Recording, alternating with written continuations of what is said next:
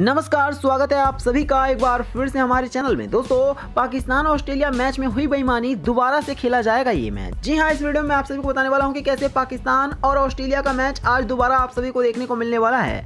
दोस्तों, ये बहुत बड़ा मैच था और इस बहुत बड़े मैच में बहुत बड़ी बेईमानी हुई है और इसी वजह से आज एक बार फिर से ये मैच आप सभी को देखने को मिल सकता है। तो आप सभी हमारी इस वीडियो को बहुत ध्यान से और अंत तक देखिएगा। जी हाँ आपको बता दें, पाकिस्तान और ऑस्ट्रेलिया का मैच कोई छोटा मोटा मैच नहीं था और इस मैच में ऑस्ट्रेलियन अंपायर ने इतनी बड़ी बेईमानी करा दी, जिसके बाद तो बवाल मच चुका है और कहा जा रहा है कि इस अंपायर पे हमेशा हमेशा के लिए बैन लगना चाहिए। तो चलिए मैं आपको बताता हूँ कैसे ये मैच दोबारा होगा और कैसे आप सभी देख सकते हैं। दोस्तों, पाकिस्तान की टीम इस पूरे टी वर्ल्ड कप में जिस तरह की शानदार परफॉर्मेंस कर रही थी, ऐसा लग नहीं रहा था कि पाकिस्तान की टीम टी वर्ल्ड कप से सिर्फ़ एक मैच हारने की वजह से बाहर हो जाएगी। और ठीक वैसा ही हुआ, और हारी भी तो कैसे कि अंपायर ने बेईमानी ही करा दी।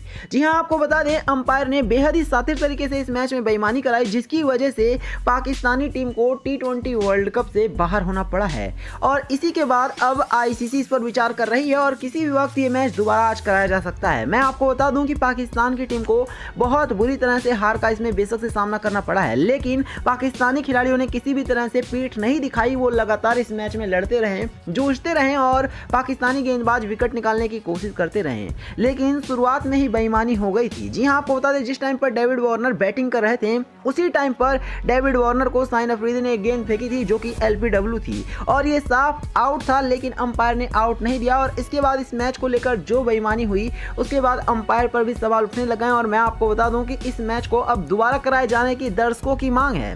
फैंस लगातार कह रहे हैं कि पाकिस्तान सिर्फ़ एक ही तो मैच हारा है। क्या एक मैच हारने की वजह से किसी टीम को इतनी बड़ी लीग से बाहर किया जा सकता है? मैं आपको बता दूँ आईपीएल में जो टीम सबसे टॉप पर रहती है पॉइंट टेबल में उसको दूसरा चांस भी मिलता है। लेकिन यहाँ पर आईसीसी को इस पर विचार करना होगा और आज पाकिस्तान को एक बार फिर से एक और चांस देना होगा क्योंकि पाकिस्तान ने जिस तरह से शानदार परफॉर्मेंस किया था इसके दम पर पाकिस्तान को एक और मौका मिलना ही मैं आपको बता दूँ आईपीएल को इस हिसाब से कराया जाता है ताकि ऊपर की जो दो टीमें रहती हैं जो कि पॉइंट टेबल में सबसे टॉप पर रहती हैं, सबसे शानदार परफॉर्मेंस करती हैं। वो अगर अपना सेमीफाइनल का मैच हार भी जाती हैं तो भी उनको नीचे वाली टीमों से एक और चांस मिलता है लड़ने का। और फिर वहाँ से भी वो जीत कर फाइनल तक पहुँच सकती हैं। और अब पाकिस्तानी फैंस डिमांड कर रहे हैं कि पाकिस्तान के साथ भी कुछ ऐसा ही होना चाहिए और पाकिस्तान को भी एक और मौका मिलना चाहिए, क्योंकि पाकिस्तान की इसमें कोई गलती नहीं है।